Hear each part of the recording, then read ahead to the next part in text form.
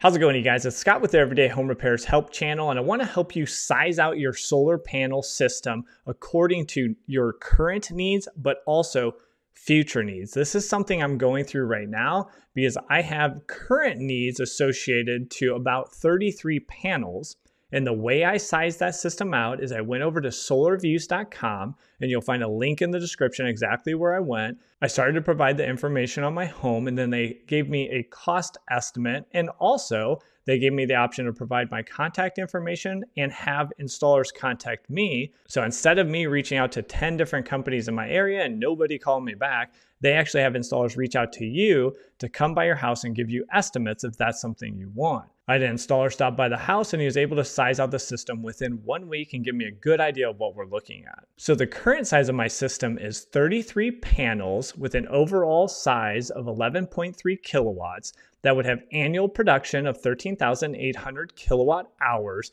And then they give you some estimates on 25 year savings, but then also an estimate on the overall system but then also a range of your overall system cost. That is after the 30% tax credit. So just keep that in mind. But one of the major things I need to take into account is I have this big boy showing up here in about 12 to 18 months. So I ordered a Cybertruck about three years ago, and this is going to be my work truck and my daily driver. So I need to compensate how much energy to charge this thing on a daily basis. In addition, we will most likely switch out our other family car for a Model Y. So if I only size it to current needs, I would be way off. So this is something we need to take into account, but I've been putting together a spreadsheet. So what I did is I put together this little spreadsheet and it basically allows you to select your car. So I have a Model Y selected and a Tesla Cybertruck selected. You could select another car if you wanted another Nissan Leaf or something in your fleet. This is something that you can actually adjust to your own needs and you can kind of play around with it. I'll give you a link here at the end so you can download it and, and, you can play around with it on your side and get sizing for you. Now, what I did is I have a list of EVs. I also listed out my source.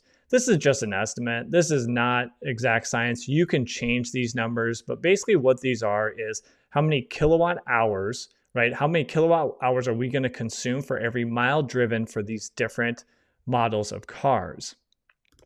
So so that pulls it over. So you select your car, it pulls over that power consumption per mile, and then you put in how many miles per day you're going to drive. For the Model Y, we'd be planning to drive about 40 miles, and the Cybertruck about 65 miles per day. So that gives us a daily consumption of kilowatt hours of 11 for the Model Y and 26 for the Cybertruck. Then we kind of get into the panels. So you can change these too, but what I'm planning on is if my panels are 385 watt panels, so once you start progressing with your design of your system, you can see if you have 400 watt panels or 350 or 420 or whatever the wattage is of your panels, I'm putting in a system efficiency of 80%. Now, this would be all your different losses. Do you have shade on your panels for some of the day? Are they not angled correctly? Are not are they not due south on your roof? What about your inverter? How how efficient is that inverter? There's a little bit of loss at the Tesla charger and so on and so on. So your overall system is going to have efficiency. I'm just putting 80% there, but again, that's something that you can change. And then sun hours. Now, depending on where you're at in the country, it could be as good as six hours if you're all the way out in Arizona or Southern California. In my area, when I look at this map, if I scroll down, I'm kind of right in the middle of this 4.2 to 4.5. So that's why I'm using 4.3 for my home and how many sun hours I'm going to have those sun hours are multiplied by your solar panel 385, 385 watts or 0.38 kilowatts. And then that's going to be daily what's that producing. So I get the number of panels. So this would be the number of panels that I need to add for each of these cars. What I do is I just take those kilowatt hours daily and then I divide by the panel size of 0.385 kilowatts times the efficiency times the sun hours 4.3 and that's going to give me eight panels. Now this is rounded and it is rounded down. So if that's 8.49 it will round down to 8 so just something to take into consideration.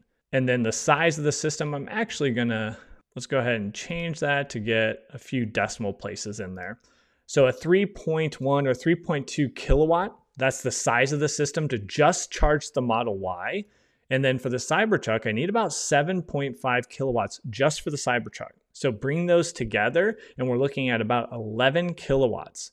Now, the question is do you remember what the size of my system? My original system was only 11 kilowatts. So you now see the massive difference that this can create. If I just went by my consumption needs, I got those two electric cars. Now I'd have an 11 kilowatt system, but that would just be meeting my house needs and I would need double that to also charge my cars to completely offset my electrical consumption from the grid. Now, the other thing to keep in mind is I am in Illinois where we do have net metering. So I can provide that surplus of power during the day times and get credits from my utility. And then at night, when I'm not producing any solar panels and I do not have battery storage at my house, well, I can use those credits to actually charge my truck. So just something to keep in mind because not all states and not all utilities provide that, or sometimes they only provide a conversion. So every one unit you put in, maybe you're only getting 0.7 back out. So something to keep in mind. So hopefully that helped you guys out. And remember, link in the description for solarreviews.com. You can start sizing out your system and also get installers reaching out to you if you're ready in that phase of your project. And then two, I'll put a link so you can download that spreadsheet and start sizing it out for your own needs at home for your electric cars and what you're gonna have from a charging perspective. Now, if you're considering, should I do a DIY versus professional install, check out this video right here and it'll give you some of the pros and cons of each of those paths. So thanks for joining me on this video and we'll catch you on the next one. Take care.